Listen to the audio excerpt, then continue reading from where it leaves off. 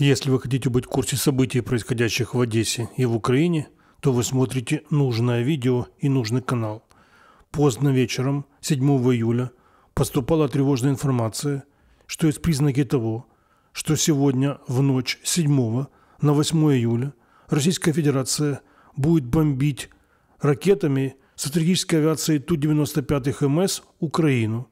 Есть определенные признаки, которые об этом говорят – и вот в 22 часа 45 минут поступает информация, что фиксируется взлет группы Ту-95 МС, которые летят в сторону зоны пуска ракет.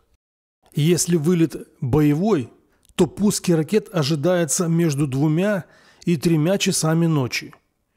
Если пуски ракет будут именно в это время, то в воздушное пространство Украины ракеты зайдут в 3-4 часа ночи – Время указано предварительное. И вот по крайней инфе в небе Российской Федерации есть фиксация четырех Ту-95 МС, которые летят в зоны пуска ракет. Не игнорируйте сигналы воздушной тревоги.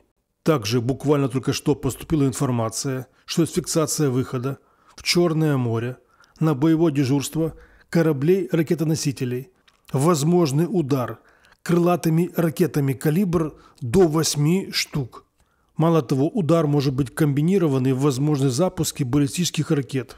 Плюс к этому запуски дронов «Камикадзе», запуски ракет с тактической авиации и запуски кинжалов с МиГов-31.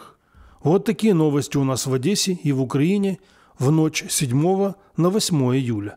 Моим дорогим соотечественникам и землякам мирного неба, всего самого наилучшего.